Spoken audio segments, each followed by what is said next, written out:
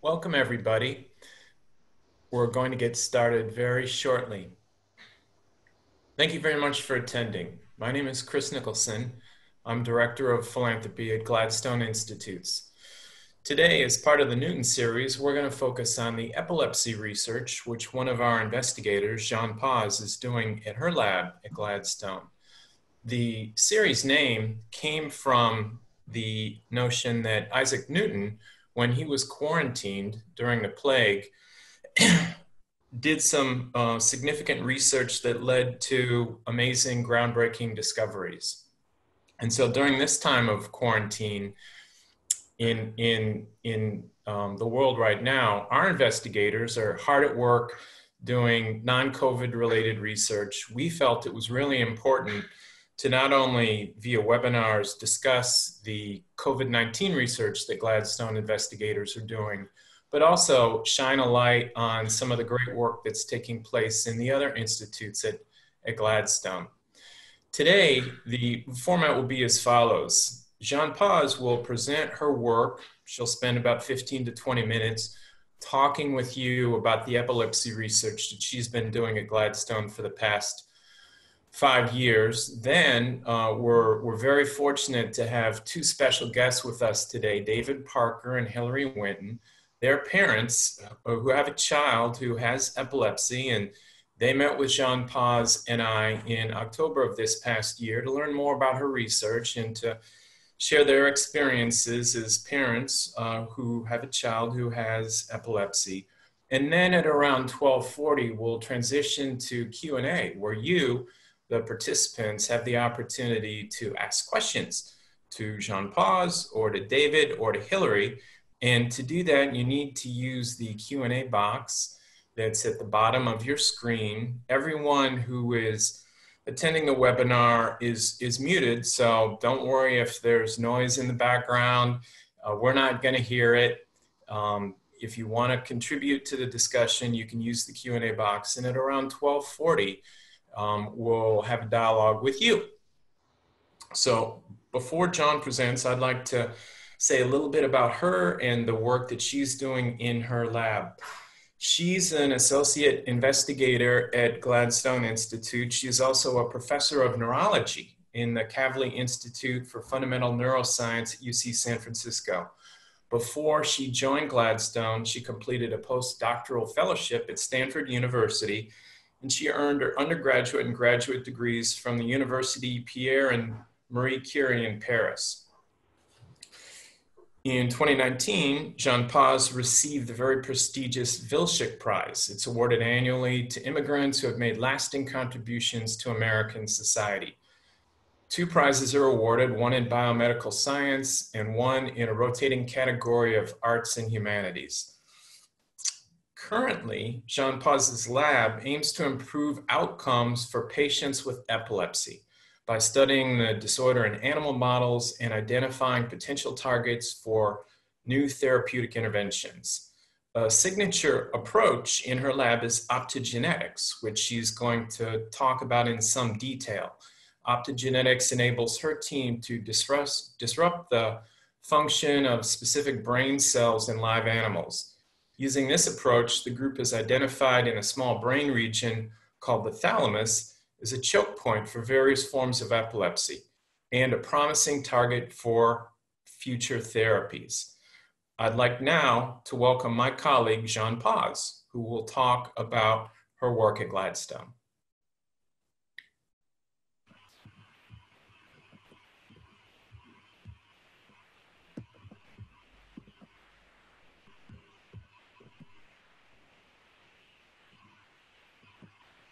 Thank you, Chris, for introducing me. Um, it's an honor to be here to give a talk today.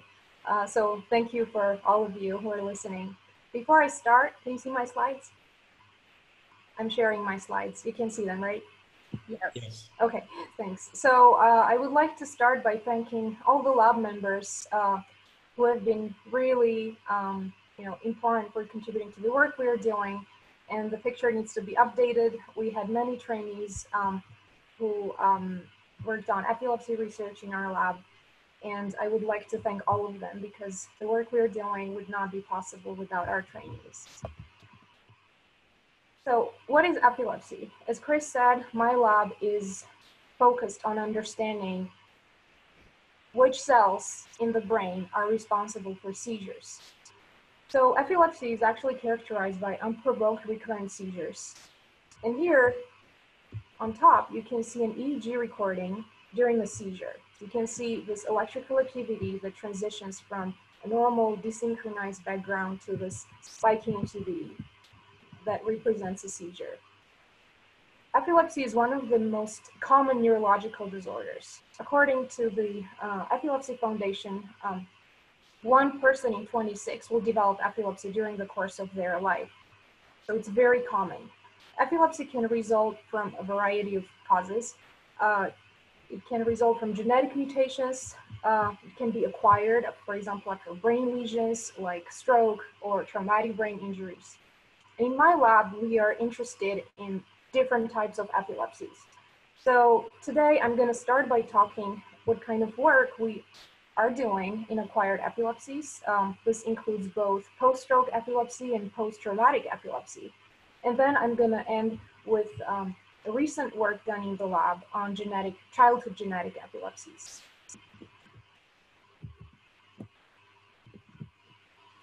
So in acquired epilepsies, as I said, that result, for example, from brain lesions like stroke or trauma, um, we are trying to understand which cells and which neural circuits are responsible for the development of epilepsy.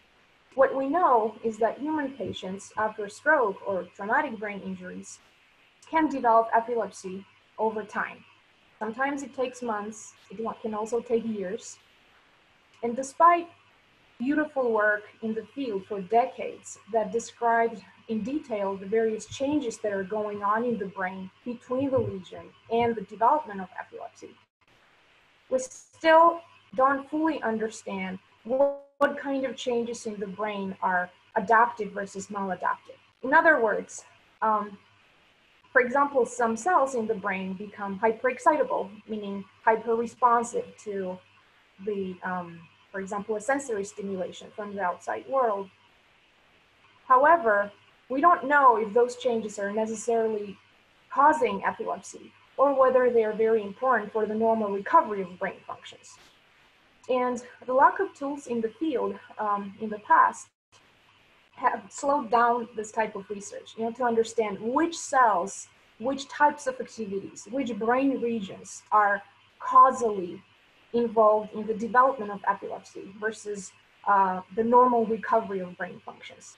So nowadays, we're very lucky to have uh, many tools that are used not just by my lab, but many other labs in the field.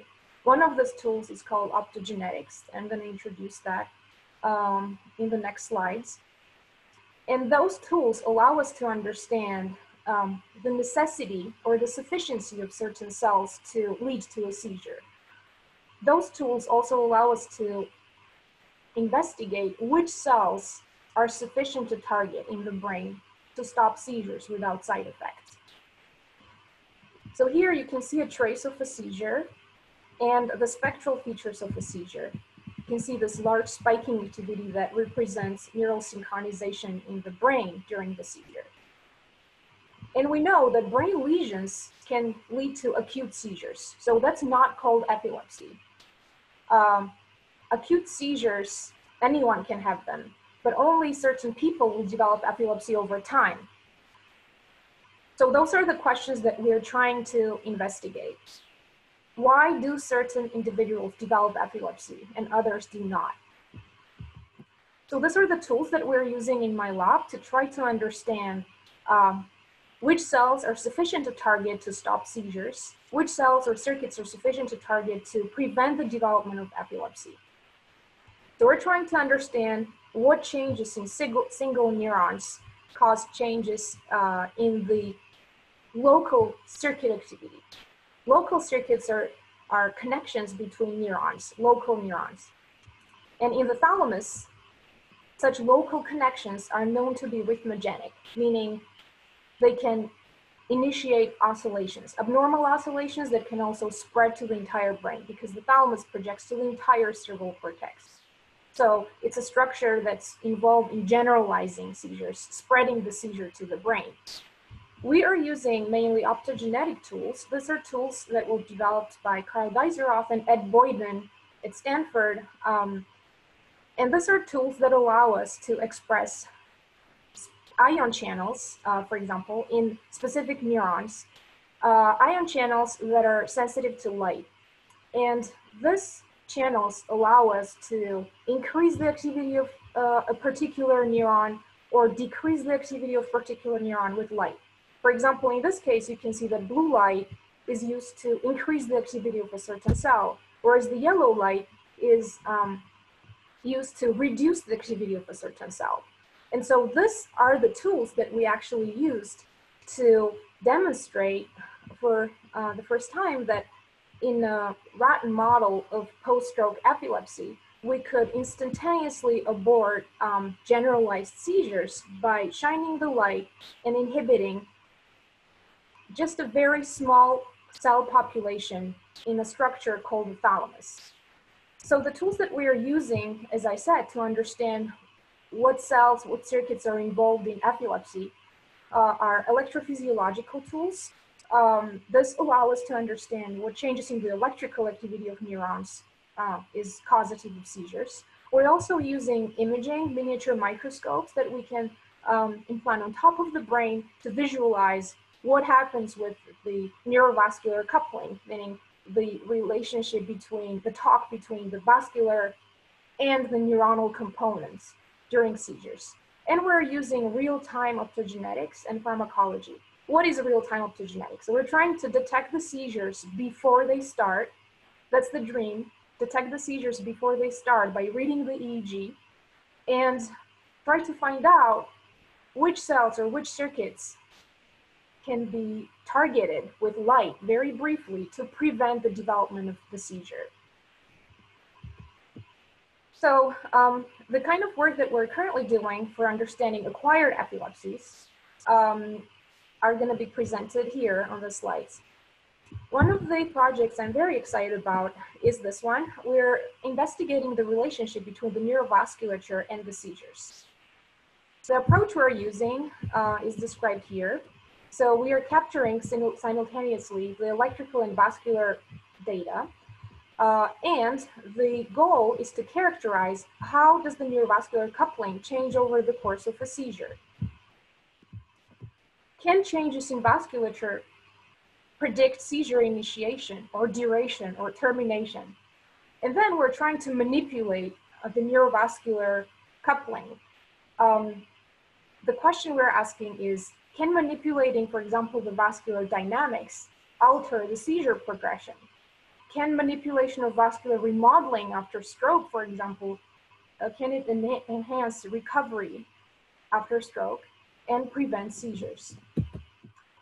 So this is a beautiful image from a very talented postdoc in the lab, Andrew Chang, who is investigating these questions that I just presented on the previous slide. Here you can see an image of a brain from a mouse uh, and in green, you can see large vessels um, across the brain. In red, you can see uh, small vessels. And when there is an injury, here this is a traumatic brain injury, there is, um, there is a loss of certain vessels. But over time, the brain has an amazing ability to recover. And there will be vascular remodeling. And one of the questions we are asking is whether certain aspects of the vascular remodeling are responsible for the normal versus abnormal recovery of the brain.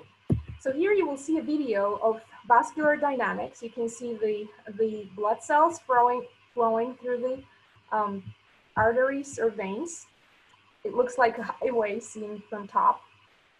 And we're investigating this before, during, and after seizures to try to understand uh, whether, as I said earlier, whether we can predict the seizures by looking at the vascular dynamics. There is a major vascular remodeling after brain injuries. Here, the top row shows that there is a disruption in large vessels. So you can see less green here um, in the mouse brain after a stroke. But three weeks later, you can see that the vasculature recovers.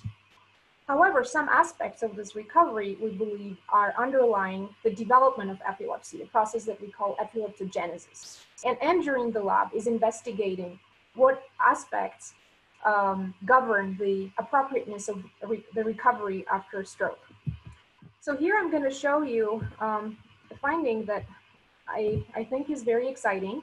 Um, Andrew found that arteries contract before the seizure starts. Um, again, this is a preliminary result. We haven't published this yet. And um, what Andrew showed is that here you can see the artery, it has this diameter, right, shown in red. But during the seizures, actually right before the seizures, this vasculature contracts here. The artery will contract. And here I'm going to show you a video so you can visualize the contraction. Um, in red, you will you see the blood dynamics. So when it goes down, it means the, um, um, so it's a proxy for the diameter. When the signal goes down, it means that the artery here in this region of interest is contracting. And here at the top, you can see the EEG, so the electrical signals that we're recording from the same brain region at the same time. So what you will notice here, you can see the cursor uh, that shows that there is a contraction. I'm going to play this movie again. That there is a contraction of this vessel before the seizure actually starts. So you can see the seizure starting here, uh, here. So you can see that this contraction happened before the seizure started. So we're currently investigating uh, whether uh, this contraction um, can be predictive of seizures, different types of seizures. Here, uh, I want to show you another video so you can visualize the electrical activities and the vascular diameter uh, at the same time and how tightly they're coupled. And here you can see the vessel at the same time. So each time there is a, an EEG spike here that represents an abnormal neuronal synchronization, meaning that a bunch of neurons are firing at the same time, there is a contraction in this artery. Here, this is the video I promised you to show twice. You will see that the diameter, for example, of this artery will be contracting um, actually before the seizure. And you can see how dramatic the contraction is. So Please note this diameter here and how strongly it's contracting.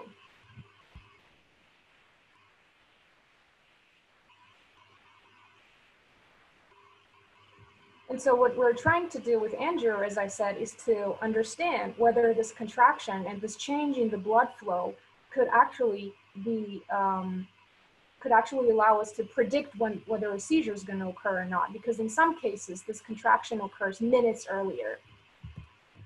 Um, so the goal of those slides was to give you a flavor of the kind of work we're doing. So just to summarize, uh, for acquired epilepsies, we're looking at how the blood vessels and the neurons rewire after brain injuries, um, stroke, and trauma. And we're trying to understand whether some aspects of the vascular dynamics can allow us to predict whether the individual will have a seizure or not. Um, now I'm going to move um, to the next slides um, that are related to genetic epilepsies. So as I said in my lab, we're also very interested in understanding how genetic, how uh, mutations in certain genes can lead to epilepsy. And I'm in particular interested in childhood uh, genetic epilepsies, such as the Dravet syndrome, as well as the Lennox-Gastaut um, syndrome. Those are very severe epilepsies. Um, this is a, a, slide that introduces what the Dravet syndrome is. So it's a very severe childhood epilepsy. It's intractable, meaning that it's usually resistant to drug treatments, although there are some very promising treatments that came out recently for, um, for uh, treating the generalized tonic-clonic convulsive seizures. Um, this epilepsy can be associated with sudden unexpected death, uh, which we call SUDEP. And um, behavioral to behavioral abnormalities like autism. often the uh, Dravet syndrome is associated with autism, although it's not the case um, each time and for every patient. And it's a genetic epilepsy. Uh, so about 70% of patients have a mutation in a gene called SCN1A, which encodes for the NaV1.1 sodium channel. So to understand um, how the seizures occur in this brain and uh, whether the thalamus could be targeted to disrupt the seizures, we used um, a mouse model of Dravet syndrome, which was kindly provided to us by Kazuhiro Yamakawa. This mouse line has a, a mutation in a, has a human genetic mutation, and you can see here that it develops epileptic seizures, shown here in the EEG, that are very similar to what we see in human patients. So um, children with Dravet syndrome can have a variety of types of seizures, and that's the difficulty here. They can have convulsive seizures, but also non-convulsive seizures. My lab is very interested in understanding the basis of non-convulsive seizures. Non-convulsive seizures are related or associated with a brief episode of loss of consciousness, but this can occur up to 200 times a day. And the mechanism of this, the occurrence of the seizures uh, have been less studied in general than those of the convulsive seizures. However, in my lab, we believe it's really important to study the seizures uh, because they could be in part um, responsible for the cognitive dysfunction um, in children with Dravet. So uh, here, the work we do in mice, we want to make sure it's relevant to um, human patients. So we started collaborating with uh, Maria Roberta Cilio, who is a clinician and who, who treats uh, patients with Dravet syndrome. And she's the one who provided the EEG recordings from human patients that we were able to compare to EEG data from our mice. You can see the seizures, uh, the seizures are very similar in terms of their duration and in terms of uh, being associated with a loss of consciousness, which is something I'm not showing here. So um, Stephanie Makinson, who's a very talented postdoc in my lab, who was, she, um, she moved on and got a job now. Um, but she found actually that targeting the thalamus could be sufficient to disrupt this non-convulsive seizures in the mouse model of Dravet syndrome. So for this, she expressed the opsin called SSFO, but the name doesn't matter here. She expressed this opsin in the thalamus, which allowed us to change the activity of neurons in this brain area during a seizure. So here you can see the seizure, abnormal spiking. And when we shine the light in this area of the brain, in the thalamus, this is a very brief light pulse. See, it's uh, less than 50 milliseconds actually. Well, that was sufficient to immediately stop the seizure. And the mouse recovered normal behavior. So this obviously does not tell us that the thalamus is responsible for seizures, but it tells us that the thalamus could be targeted to stop these non-convulsive seizures. And it also tells us that thalamic activity is probably necessary for maintaining the seizures. This is the same example of a seizure, just to show you uh, the normal EEG activity, the seizure, and how the light disrupts the seizure and stops the abnormal activities. Um, then, one more thing. So because optogenetic tools cannot be used in human patients, uh, we used a pharmacological tool to target an ion channel in the thalamus called the SK channel. Um, and we found that that pharmacological treatment was also sufficient to treat these non-convulsive seizures. Therefore, we strongly believe that the thalamus plays an important role in this um, absence type seizures. Um, even though these are not typical absences.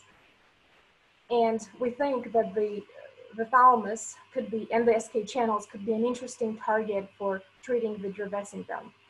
Uh, and with this, I would like to thank you so much for listening. Thank you very much, Jeanne Paz. That was uh, a wonderful presentation.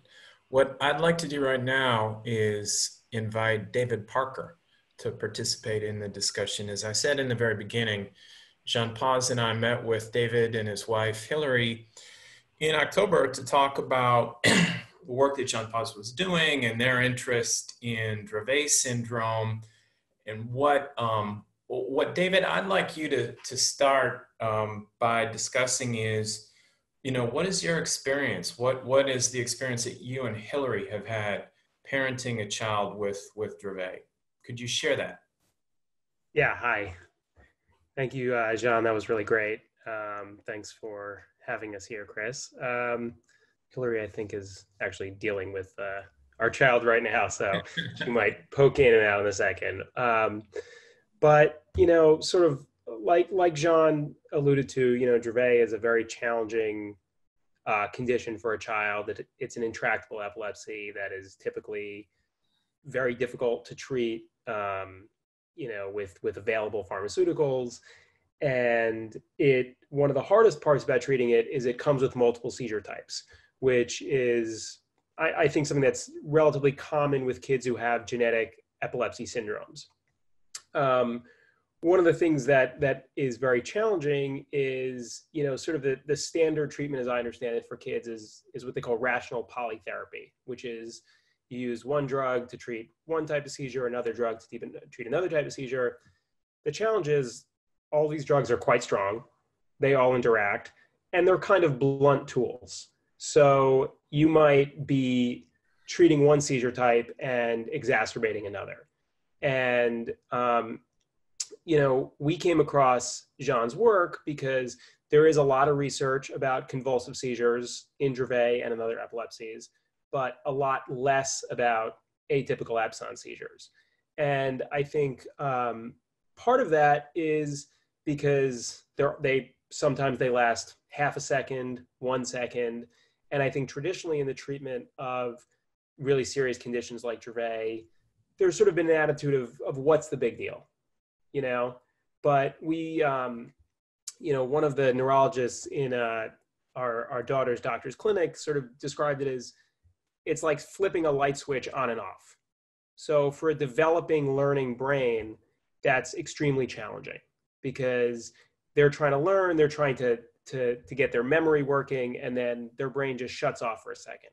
And it's like, you know, another neurologist described it as if you're reading and you're constantly losing your place on the page and you know when you have a child who's three four five and they're trying to learn that's really challenging because it's challenging to teach any child that age but a child who you know as many times as 100 200 times a day is is sort of losing their train of thought it can be very debilitating developmentally um, but there's there's not been nearly as much research on this seizure type and probably a lot of the drugs that kids with Dravet and kids with serious epilepsy get may actually make them worse.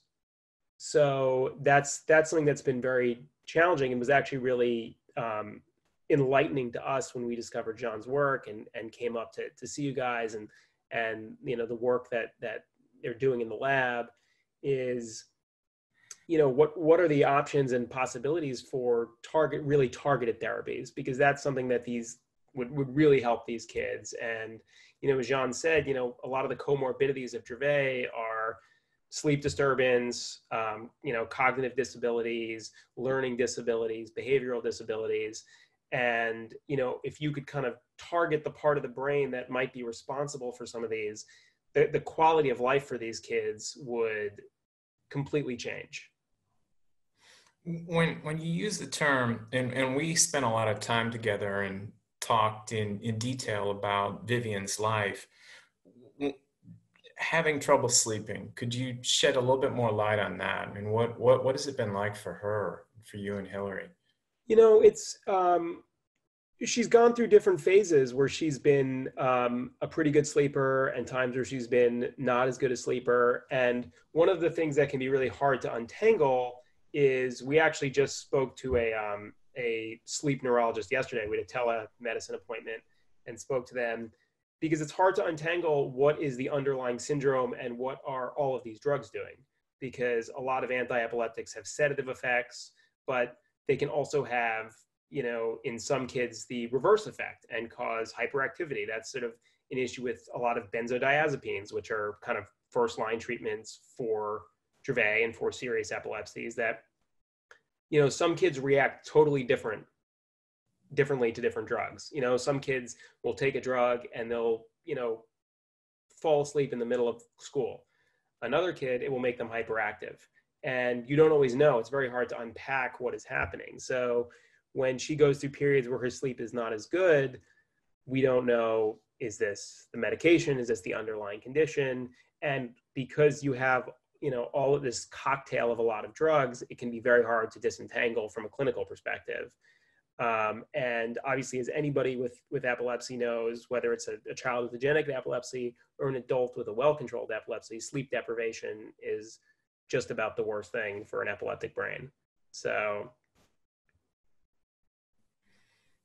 When you came in October, was there anything about the conversation that you had with Jeanne Paz that excited you, that you're really interested in learning more about the work she's doing? Yeah, for sure. I mean, I think one, um, you know, it was it was really nice. You know, our experience um, in sort of the epilepsy world and community is, has been largely with clinicians, and you know, I have to say, Jeanne is is you know had so much sort of empathy and understanding for what she was studying that really kind of touched us because you know we don't we're not as tuned into the sort of the the research world you know and you read research papers and i've started to sort of as, i think a lot of parents of, of children with epilepsy do you get very involved in researching and looking for anything that might improve your child's quality of life and you know scientific research papers are by necessity sort of dispassionate and factual.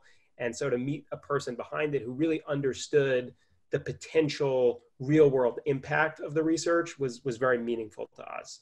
So that was that was sort of on the, the highest level really wonderful.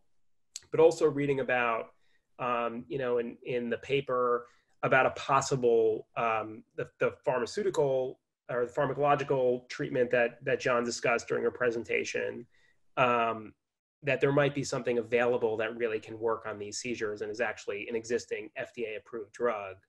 Um, and that was something that's very exciting to us to think about is this, you know, what, and one of the things that we all talked about is what does it take to take that from the lab mm-hmm. to the clinical perspective and, you know, see if it works.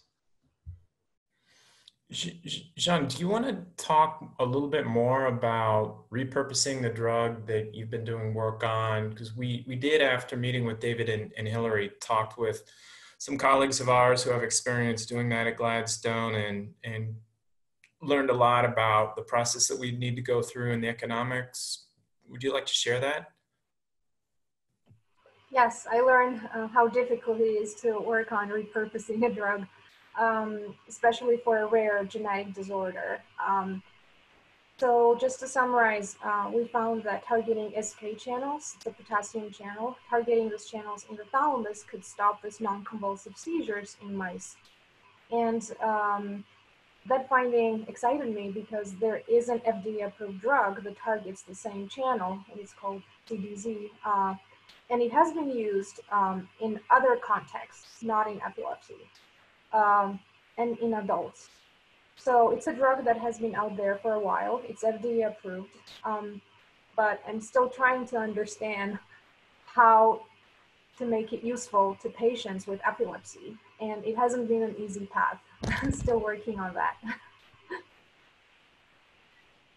do you um, do you have an idea of uh, how long it might take to accomplish that goal and what it might cost? to accomplish the preclinical study, probably uh, between one and two years. Um, and uh, it's actually being very hard to fund something like this because it's an FDA approved drug, it's not a new molecule. Um, and no one will be, you know, gaining billions of dollars if this actually works for epilepsy. That has been the main challenge. Um, so for a preclinical study in mice, it would probably take about a year or two. And then if it works um, without side effects, uh, then we can discuss about perhaps um, using it in human patients. So I, I, would invite anyone who's participating in the webinar right now to use the Q&A function so that we can have an interactive dialogue with, with David. I see Hilary has joined with Jeanne, Jeanne Paz. Um, Jeanne Paz, I have a question that we discussed the, the other day, which is more of an introductory question. Why, why did you decide to focus on epilepsy? What, what, what drove that decision? So um, I was studying years. I actually started uh, with medical school. I did medical school for a few years, and um, I love neurophysiology. And I discovered passion for research because I realized there are many things that uh, clinicians cannot do if um, if there is not enough basic science to actually discover new targets. So I got involved um, in epilepsy research by joining the Charpier lab, who had this amazing approach. He was able to record um, intracellular events, so electrical activities from single neurons in the brain, and understand what changes in the cells could actually be predicting seizures. Um, so what really um, excited me about you know understanding the seizures is that unlike many other disorders, seizures start and spread and end, right? Obviously, epilepsy is much more complicated than just seizures, as um, David mentioned. There are many other um, problems, right, that people with epilepsy deal with, such as sleep disruption, cognitive dysfunction, uh, etc., and depression, and the list would be very long.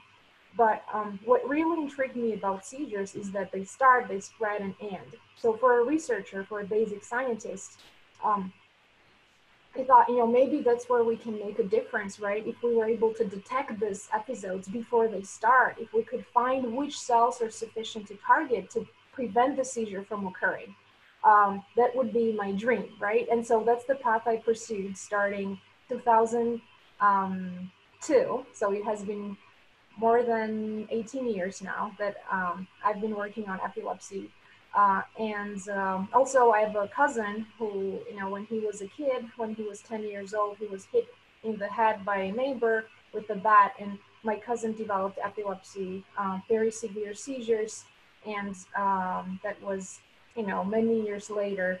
So that also really motivated me to understand um, to understand the brain better to be able to help patients who actually suffer from these devastating conditions.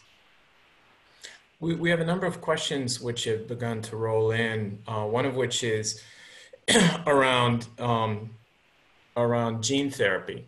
Um, what do you think of gene therapy for genetic epilepsies?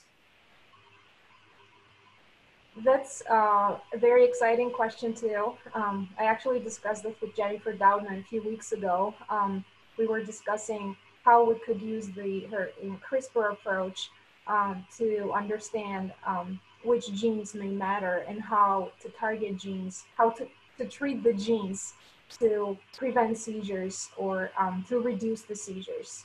And uh, because of the shutdown, we weren't able to continue the conversation, but I look forward to discussing with her in the future um, because CRISPR would be an amazing um, tool actually to use for genetic epilepsies.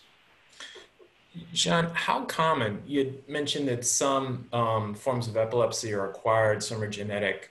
How common is it to develop epilepsy after a stroke or a brain injury? Another great question. So it really depends on the type of injury and the severity, the location. For example, patients with um, penetrating traumatic injuries, um, about 50% of patients, so one out of two, uh, are going to develop epilepsy. And this has been a major problem for soldiers who, you know, who have fought um, in the war. Um, so it's very frequent, right? 50% of chances to develop epilepsy, that's very high.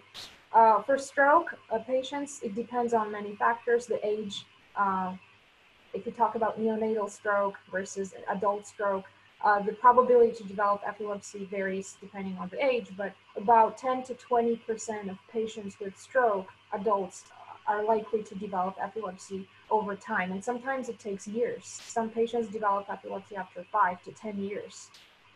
Um, did I answer your question? You did. Uh, I have a, a, a, question. Well, actually, it's a question posed by someone attending a webinar about the work that you were doing with the, the drug that you'd like to repurpose for Dravet associated seizures. What's the probability that it would be effective in treating other types of epilepsy? And um, could you could you spell the name of the drug and, and state its current approved use? Yes, um, the like spelling of the drug here. It's C, the abbreviation is C, CDZ, uh, chlorzoxazone. Um, and I don't want to overstate. I don't know if it's going to be helpful for many epilepsies, but um, it's definitely worth trying uh, to do preclinical studies um, to ask that exact question. Um, so SK channels, these channels are, that are targeted by the CDZ drug, which is FDA approved, they're actually really important for normal rhythmogenesis in the brain. And their roles have not really been explored in um, genetic epilepsies. Uh, or, you know, in the likelihood of having, let's say, a mutation in the gene for developing post-traumatic or post-stroke epilepsy. And so once I presented this um, result at a meeting, and someone told me, you know, this is not interesting because we can't find in our database any reported genetic mutations in these channels. Therefore, it probably doesn't matter. However, I think it's a complicated question because if we don't know about a mutation, it doesn't mean that it does not exist, right? First of all. And second of all, um, it's possible that even if this gene, the SK gene, is not responsible for the seizures themselves, uh, for example, in the case of the Dravet syndrome I was talking about, the initial mutation is, is in the sodium channel, is not, it's not in the potassium channel. But um, for us who are interested in translational approaches and making a difference for, from patients, I think it's still very exciting that targeting this channel can treat non-convulsive seizures because it's possible that targeting the sodium channel um, maybe could make things worse. Or maybe it's too late to target sodium channels when epilepsy has already developed. Um, again, I'm talking as a basic scientist, so um, but I think that, you know, I'm definitely very excited. Uh, if we had, we had, the funding, I would definitely try this, uh, targeting this drug in different contexts, not just the Dravet syndrome, but also um, in, in rodent models with Lennox-Gastaut syndrome. Uh, by the way, trauma and stroke are um, likely also to be involved in LGS, which is Lennox-Gastaut syndrome. Um, so we would be very interested in actually looking at this channel uh, more in detail in a variety of epilepsies. And I don't have a very, you know, exact answer, but that's exactly the question I'm interested in pursuing. And I saw Hilary was there. Um, maybe she can comment on her experience with um, with Dravet as well. Oh, I think she left. Oh, here he is. Sorry about that. I'm watching two kids. Um, you know, I just, you know, you know, I know you guys have talked, you know, so much about the science everything behind this, and I just wanted to, you know, be here to just express, you know, the desperation that there really is out there um, for this research. When we look at, you know, as parents of a child with, you know, Dravet, when we look at what is available to us, this is an emergency. You know, um, this research, it's we need it now, and it's, you know, I think that you know, for us, you know, look, you know, meeting with Jeanne, for me, I was personally touched by seeing all of the mice that had Dravet. Um, and you know, just feeling for them, feeling for their for mother mice, and you know, the number of seizures and stuff that they have, and I just was, you know, you know, just the idea that somebody is out there trying to do something that can help our daughter and all of the sons and daughters out there um, because we need it um, so badly. And so I just, you know, yesterday, for example, I was playing with my daughter. She's having the greatest time outside, running and playing. And then I look over for one second and she's face down in the grass, having a cluster of these atypical absence seizures and you know that she was in for two minutes. And then she's postictal and then for the you know we lose the next hours. And in that time she's not learning anything. She's not even having a good time. She's not playing with her sister. All of those things that just the community is really desperate for this research. Hilary, you had mentioned the, the community. Do you have a, a network of parents that you've gotten to know through your experience?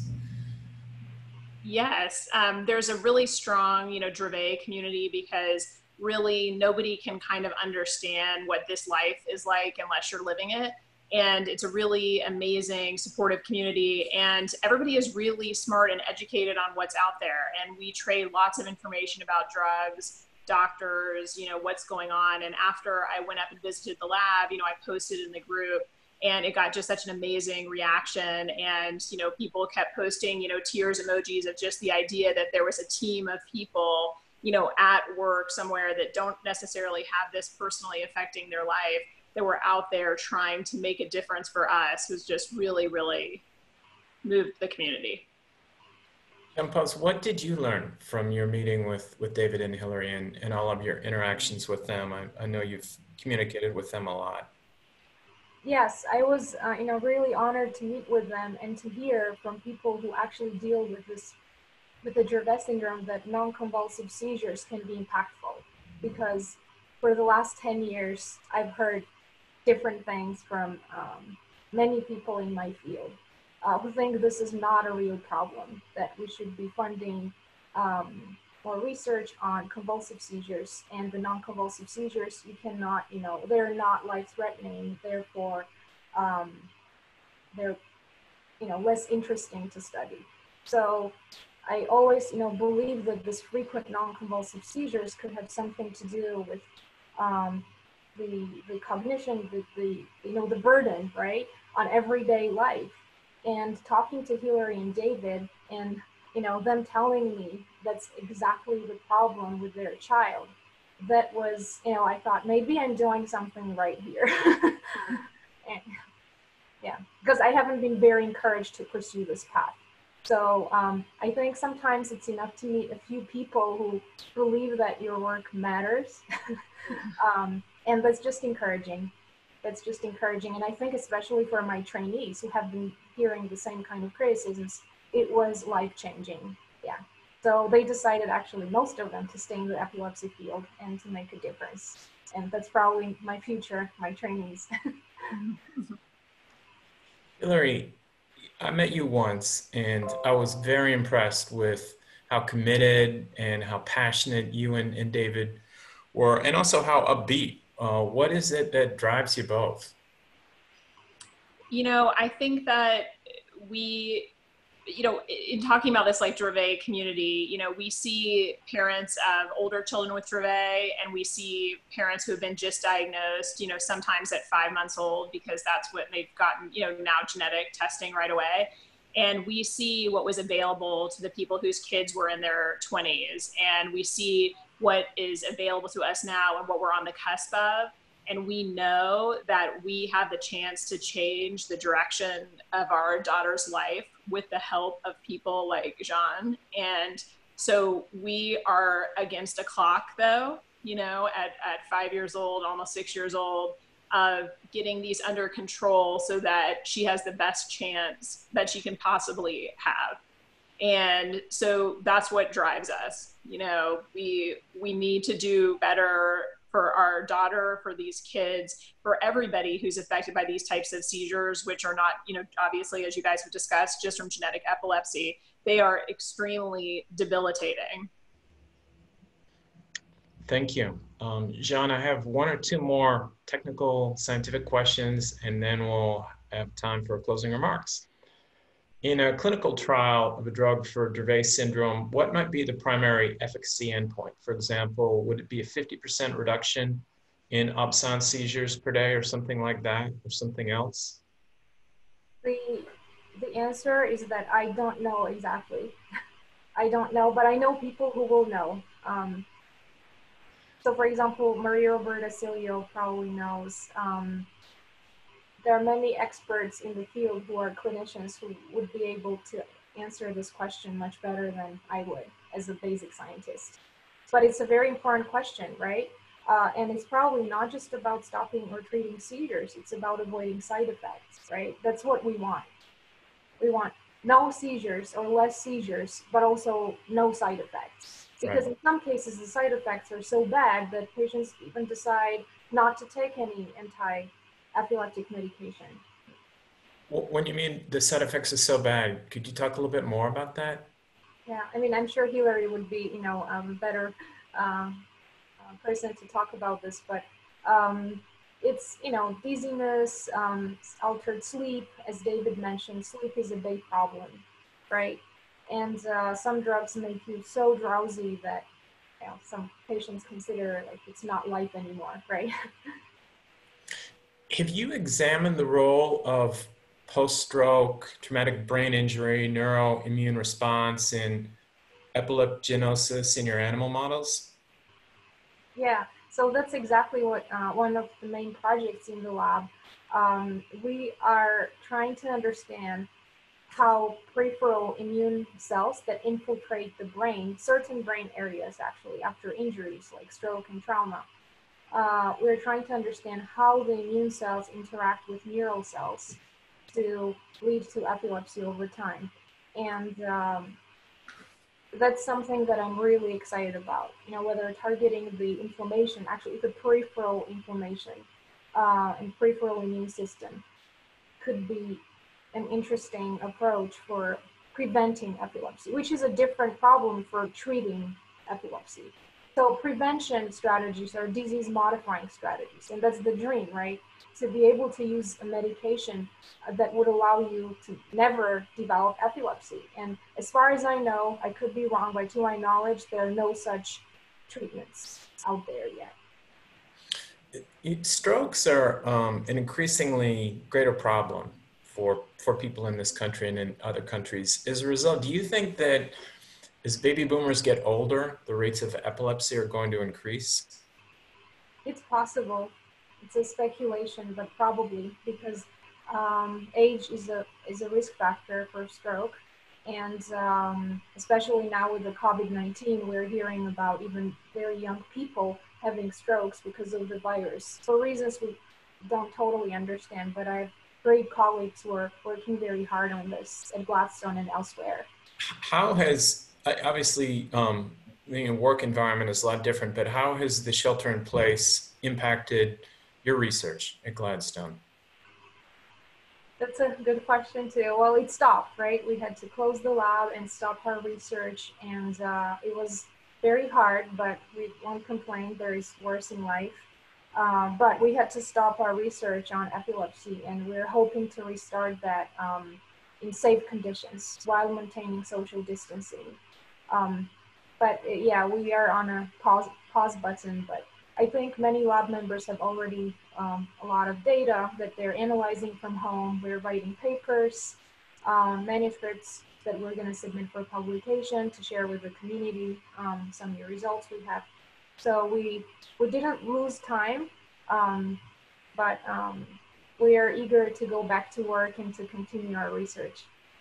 We, we talked, and I, I know we're um, uh, about at the end of the, of the time. We talked yesterday about what you'd like to accomplish in, in your career. Could, could you talk a little bit about that? Well, what's the goal? Well, what would make you satisfied and happy? Um, to find a cure for all epilepsies. that would be my dream. um, and that's too ambitious. But as a field, you know, I hope that by the time I retire or die, I hope that our field, um, because it's a lot of teamwork, I hope our field will find um, treatments for devastating conditions like the Dravet syndrome or like the Lennox-Gastaut syndrome. Um, these are very complicated problems to tackle. So I want my contribution, I mean, my dream to be um, accomplished before I retire, before the end of my career. And I wanted to be, you know, making a difference for, for people with this condition. David, and, David and Hilary, is, uh, is there anything you want to say or about at the end of the, the program today? Just, uh, you know, keep doing what you're doing and, you know, hopefully, you know, we can we can find the support for this type of work because it's really important and you know, especially as as Jeanne said, when there are people who are you know discouraging, um, that's sort of all the more reason to go forward because when you talk to families, and it's you know by the way, it's not just Dravet, you know, as as Jeanne mentioned, you know, Lennox-Gastaut, um, atypical absence seizures are a huge huge issue for them, and you know it, it's this is this is work that that is making a difference and can really continue to make a difference. And you know, we we we're we're hopeful that uh, the shelter in place will you know end in in due course, and you know everyone will be able to get back to work and and get back to this research and you know that people will continue to support it because it is really crucial. Well, Jeanne and I want to thank you both very much. We enjoyed meeting you. We're looking forward to strengthening the relationship that we have with you. We really admire everything that you're doing for your daughter and for the epilepsy community. Jeanne, thank you very much for presenting and for Thank the you. great work that you're doing in, in your lab. I want to thank everyone who's joined today's webinar for taking time out of your day to spend time with us. If you're interested in learning more about Gladstone's work and how you might support our efforts, please visit our website at www.gladstone.org. Take care, stay safe, and have a great day.